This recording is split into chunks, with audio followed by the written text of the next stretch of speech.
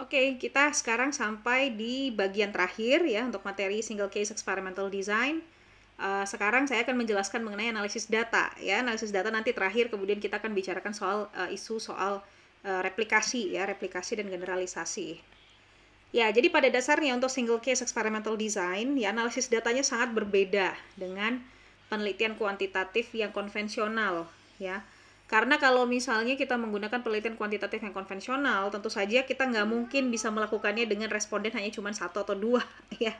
Jadi nggak ada ceritanya kalian ngasih apa menganalisis data dengan t-test hanya dengan 10 responden tuh nggak masuk akal, ya. Jadi memang tidak bisa dilakukan, sehingga memang yang bisa kita uh, yang bisa dilakukan untuk mengetahui apakah intervensi yang kalian berikan kepada klien itu memang punya dampak atau punya dampak merubah target behavior, either menurunkan atau menaikkan, maka yang bisa kita lakukan adalah dua hal untuk mengetahui hal itu.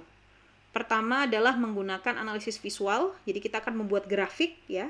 Dengan grafik itu kita bisa menentukan median ya, median score, kemudian kita juga bisa menentukan tren pada masing-masing fase dan kemudian yang terakhir, kita bisa menggunakan statistical sedikit statistical teknik yang bisa kita gunakan untuk mengetahui apakah ya, apakah target behavior, variable outcome-nya atau variable y-nya itu overlap atau tidak antar fase.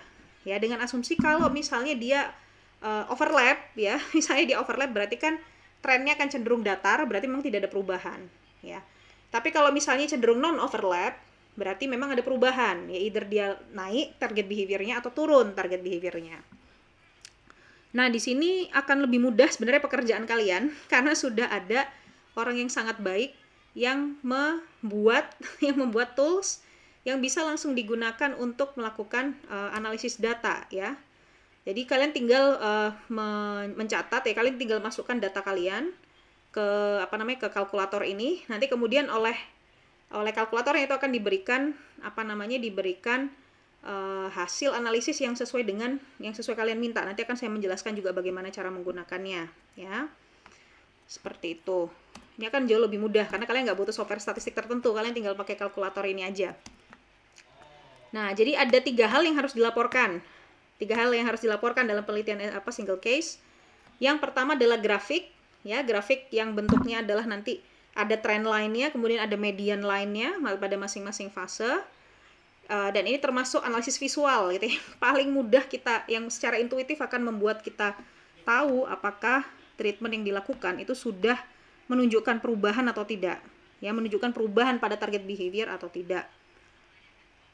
Yang kedua adalah internet reliability. Jadi kalau seandainya uh, ini memang dalam kondisi ketika seandainya uh, target behavior itu memungkinkan dilakukan pengecekan reliabilitas interator ya. Jadi misalnya uh, katakanlah ketika self report maka yang melaporkan itu nggak cuma dari klien aja tapi caregivernya. Misalnya kalian minta untuk uh, mengobservasi perilakunya si klien ya untuk mengetahui bahwa apakah konsisten ya, apakah konsisten pengamatan soal target behavior yang dilakukan oleh klien secara mandiri dengan caregiver dengan care, yang diamati oleh caregivernya mengamati mengamati keseharian mereka gitu ya.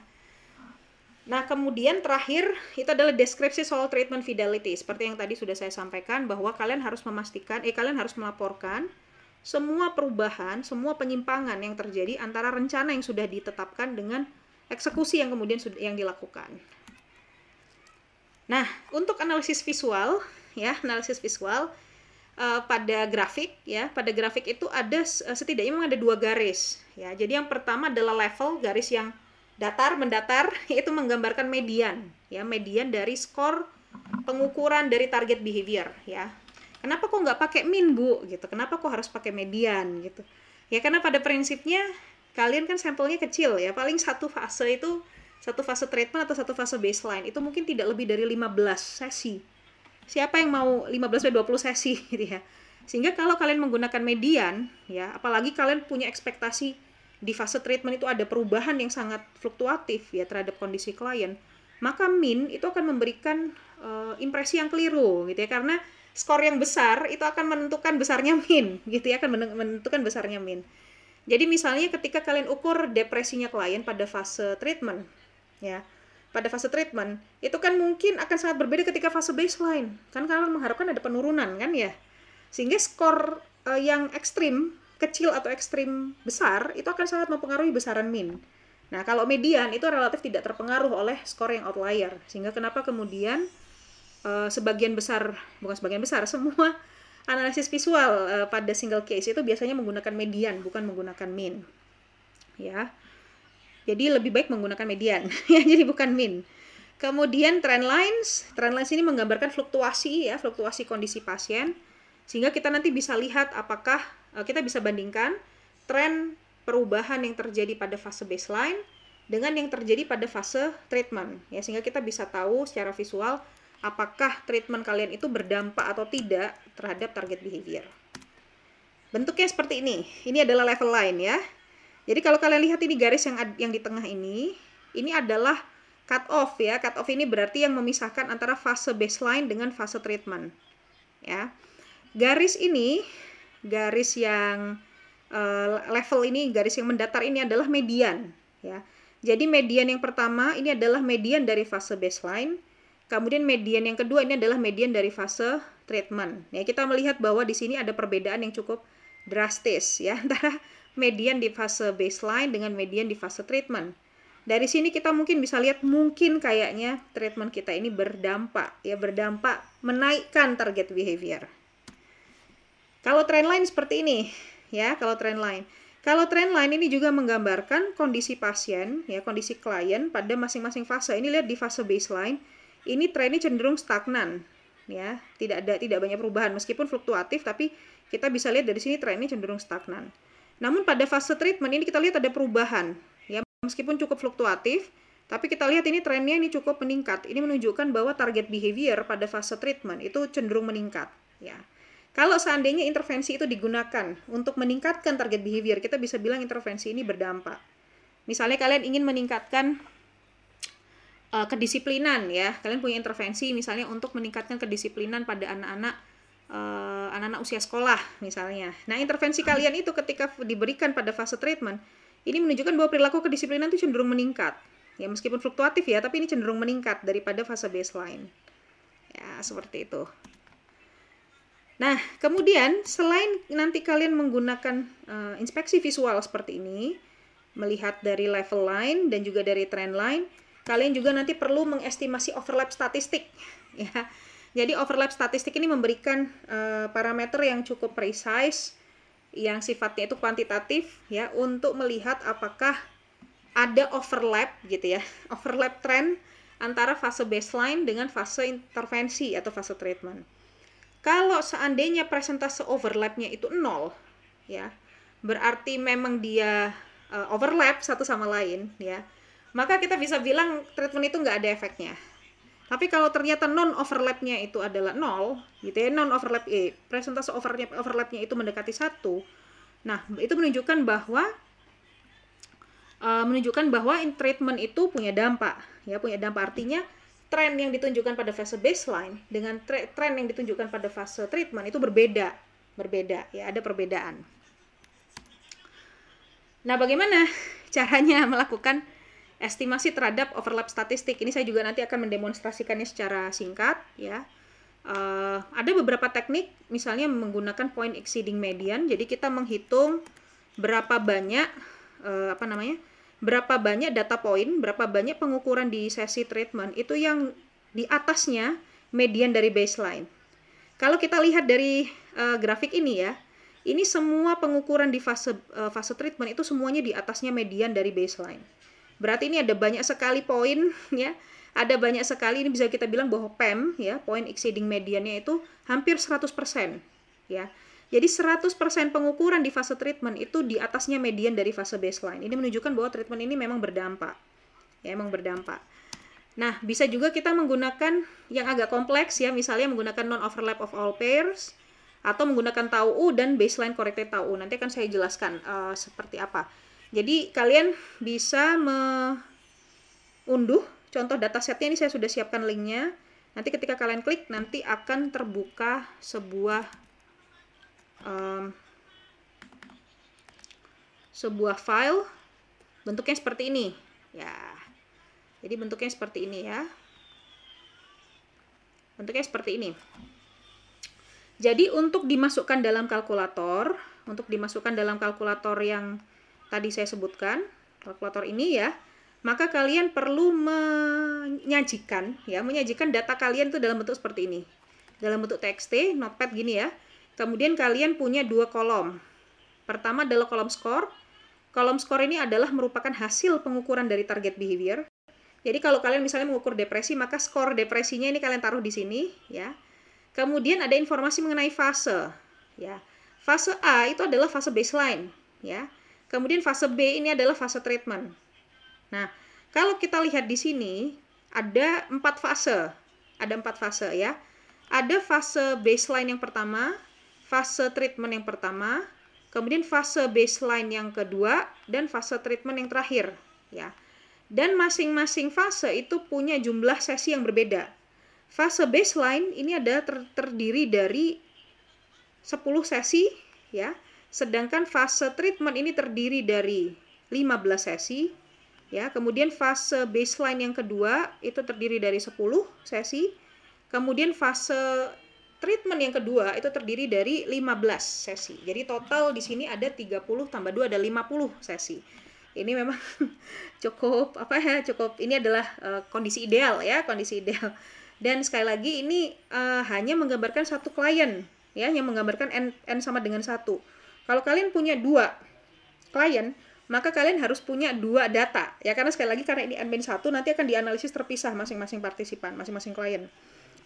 Oke, jadi uh, yang kemudian kita lakukan adalah memasukkan data ini ke dalam uh, kalkulator.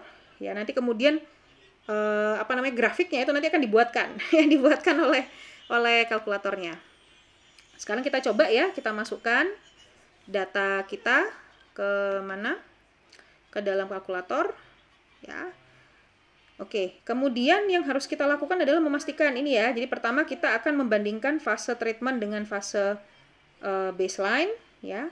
Kemudian di sini treatmentnya adalah kalian harus me me memberitahu software apakah treatment kalian ini tujuannya untuk menaikkan atau menurunkan ya, menurunkan target behavior. Karena di sini targetnya adalah menurunkan, katakanlah ini CBT ya, penelitian saya ini, saya ingin tahu efeknya CBT terhadap penurunan tingkat depresi misalnya. Jadi saya punya ekspektasi bahwa intervensi itu akan menurunkan target behavior. Kemudian yang lain dibuat uh, dibuat apa namanya dibuat uh, default aja nggak apa-apa. Jadi yang paling penting harus kalian uh, yang harus kalian tentukan itu adalah ini bahwa ini bahwa penelitian kalian sekarang adalah membandingkan fase baseline dengan fase treatment Kemudian tujuan dari treatment adalah mengurangi ya, mengurangi target behavior. Nah, di sini di awal di data summary, di tab data summary ini sudah kelihatan, sudah keluar fase A dan fase B-nya ya, descriptive statistics-nya. Jadi min-nya, min score-nya adalah 10,95. Kemudian di fase B, di fase treatment min-nya adalah 5,83. Kemudian mediannya juga ada, standar deviasinya juga sudah ada. Kemudian jarak antar kuartil, ya interkuartil range-nya juga juga sudah ada. Nah, di sini kemudian yang kita lakukan adalah melihat grafiknya secara visual. Kalian bisa klik tab-tab yang WWC visual untuk two faces ya. Pada two faces ini nanti akan keluar uh, ada banyak apa namanya? Ada banyak sekali apa namanya? Uh, grafik, tapi yang terpenting adalah grafik yang pertama ya, grafik yang pertama. Kita lihat di sini di grafik yang pertama itu median dari fase baseline dan median dari fase treatment ini memang berbeda ya kelihatan berbeda bahwa ada penurunan yang cukup drastis. Nah, kemudian kalau kita lihat di sini kalau dari NEP ya, dari uh, non overlap uh, statistiknya ya, itu hampir semua data point, ya hampir semua data point per sesi itu semuanya hampir semuanya di bawah pada fase treatment itu semuanya di bawah dari median fase baseline. Ini menunjukkan bahwa treatment ini cukup efektif secara visual ya, secara visual. Kemudian kita coba lihat dari um, trend stability ya. Kita lihat coba lihat dari trend stability.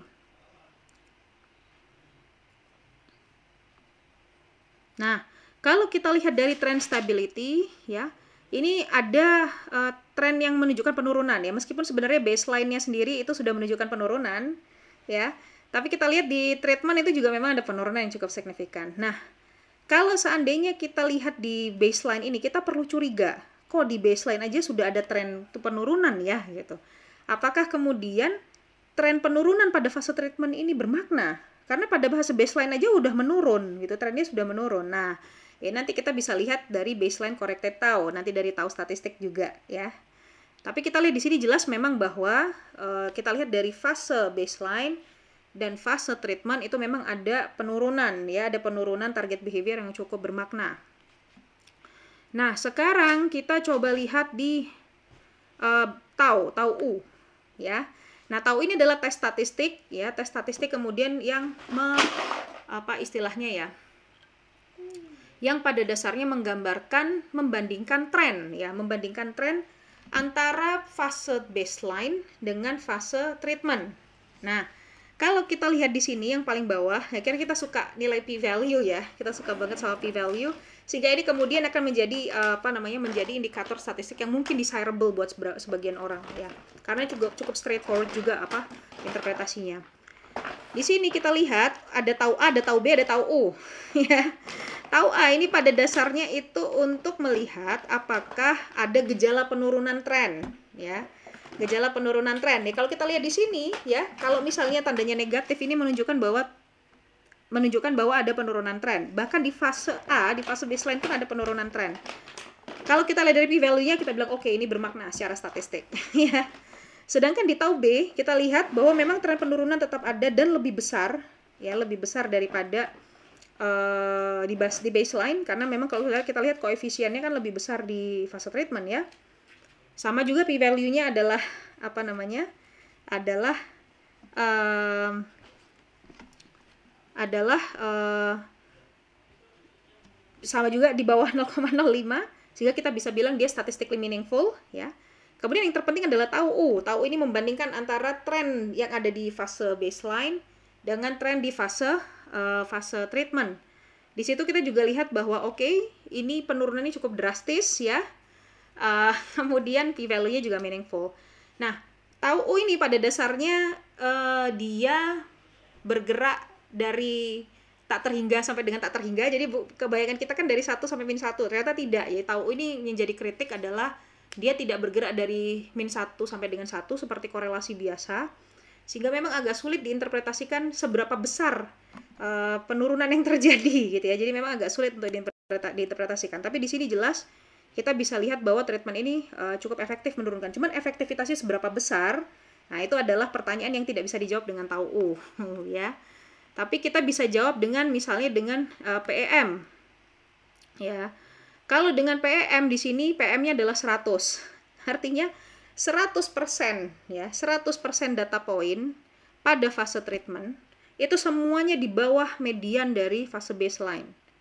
Sehingga kemudian kita bisa bilang bahwa treatment ini amat efektif ya. Karena memang PEM ini bergerak dari 0 sampai 100. Ini efektif banget. Jadi efeknya sangat besar. Ya, sehingga dari sini kita bisa bilang bahwa treatment yang kalian lakukan, CBT yang saya lakukan itu memang largely efektif untuk mengurangi depresi dari klien yang saya tangani. Kayak begitu, ya. Kemudian di sini juga ada percentage of non uh, saya lupa D-nya apa. Ini juga menggambarkan uh, hampir sama konsepnya seperti PEM, tapi mungkin ada perbedaan sedikit di uh, apa di perbedaan sedikit cara menghitungnya sehingga kemudian mungkin agak berbeda dengan PM ya. Ini untuk detailnya nanti saya akan berikan bacaan ya bagaimana cara menginterpretasi kayak PND kemudian uh, overlap statistics utamanya PND sama PM ini yang paling sering digunakan ya. PM dan PND. Nah, kemudian kayak tadi kan masalah kita kalau kita lihat di trend stability, di sini kan pada fase baseline itu juga sudah ada penurunan. Nah, Berarti untuk mengetahui apakah pada dasarnya intervensi kita itu largely efektif, kita harus melakukan koreksi pada fase baseline. Nah, itu kita bisa lakukan dengan baseline corrected tau. Nah, di sini di baseline corrected tau, ya, ini kita lihat adalah 0,54 hasilnya. 0,54 ini moderately efektif, ya. Jadi antara antara 0, ya antara disputable sampai dengan moderate. Jadi artinya meskipun PEM ini 100 kan karena PEM kan dari 0 sampai 100. Ini kayaknya sangat efektif tapi kalau kita koreksi dari fase baseline-nya, maka ketemu sekitar 0,54 ya, 0,54. Kalau min kan berarti kan penurunan ya. Artinya e, kalau antara 0,5 berkisar antara 0,5 itu masih moderate ya dan bahkan disputable. Kalau misalnya dia mendekati satu, berarti dia makin efektif. Kalau dia mendekati nol, dia makin nggak efektif. Nah, seperti itu gambaran singkatnya bagaimana caranya menganalisis data pada single case uh, eksperimen experimental design. Tapi di sekali lagi ini adalah uh, cara yang relatively simplistik ya untuk menganalisis data. Nanti akan saya kasih bacaannya yang bisa kalian pelajari untuk uh, apa untuk uh, mempelajari lebih lanjut uh, kelebihan dan kekurangan pada masing-masing overlap statistik yang tersedia dari uh, dari kalkulator ini. Kemudian yang terakhir, nah yang terakhir ini adalah isu yang cukup penting ya mengenai replikasi dan generalisasi. Jadi apakah pada dasarnya temuan yang kalian dapatkan dari penelitian kalian itu bisa diulang oleh peneliti selanjutnya atau tidak? Karena kalau seandainya itu tidak bisa diobservasi oleh orang lain, itu nggak ada gunanya, ya. Karena karena kan pada dasarnya kalau bukti yang kita peroleh dari hasil penelitian kita itu harus bisa diobservasi peneliti lain juga, sehingga kemudian kita bisa bilang uh, bukti dari penelitian kalian itu robust gitu ya. Dia memang ajak, dia konsisten, sehingga kita bisa percaya bahwa satu treatment itu memang berdampak, memang sangat memang benar-benar membantu klien kita atau tidak, ya. Sehingga yang paling penting justru sebenarnya untuk memastikan bahwa penelitian kalian ini bisa digeneralisasi dan bisa direplikasi, itu adalah pertama kalian harus mem, uh, harus punya plan yang sangat uh, spesifik ya, punya plan yang sangat detail dan spesifik dan kalian juga transparently reporting apa saja penyimpangan-penyimpangan yang uh, yang terjadi di luar dari rencana yang sudah kalian uh, sudah kalian lakukan yang sudah kalian lakukan ya. Sehingga ini nanti akan sangat membantu peneliti lain untuk melakukan hal yang sama seperti kalian. Dan mereka juga bisa melihat potensi adanya downfall atau adanya uh, apa istilahnya halangan-halangan atau kendala-kendala yang mungkin terjadi ketika mereka mencoba hal yang sama seperti yang kalian lakukan. Ya jadi ini yang paling penting adalah pertama plannya harus spesifik, harus detail, dan yang kedua adalah ketika melaporkan uh, hasil penelitian atau temuan penelitian itu juga benar-benar mencantumkan apa saja hal-hal yang di, apa yang defiant, yang defiant dari uh, dari uh, uh, rencana yang sudah kalian susun sebelumnya. Ya, terutama bagian treatment fidelity itu yang sangat penting. Baiklah, saya kira itu saja yang bisa saya sampaikan untuk materi single case experimental design. Semoga materi ini bermanfaat buat teman-teman semua. Eh, selamat mencoba dan selamat belajar. Terima kasih. Assalamualaikum warahmatullahi wabarakatuh.